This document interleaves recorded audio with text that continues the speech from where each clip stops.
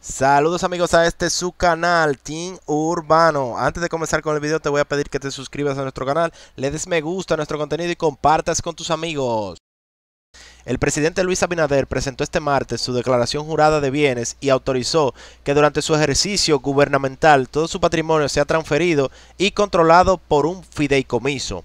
El mandatario realizó la declaración el día anterior de manera electrónica y pasado el mediodía la envió a la Contraloría General de la República con su abogado Leonel Melo para cumplir con la disposición legal. La Cámara de Cuentas había dado una prórroga hasta el 28 de este mes para la entrega del documento, pero el mandatario decidió no acogerse a la misma para entregarla dentro del plazo establecido por la ley.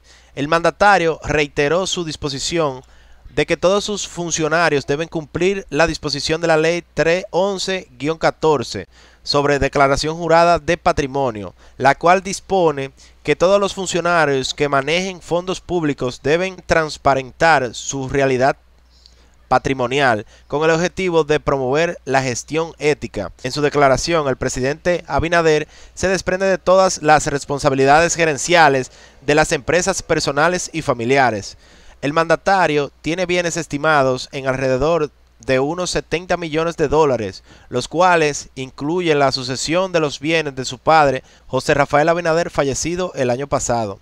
La familia Abinader es propietaria de una cementera, empresas turísticas, una universidad, centro de enseñanza preuniversitario y especializadas, entre otros tipos de negocios. Se informó que la declaración de bienes fue entregada a la Cámara de Cuentas, la cual tiene la responsabilidad de ponerla a la disposición del público cuando la procese.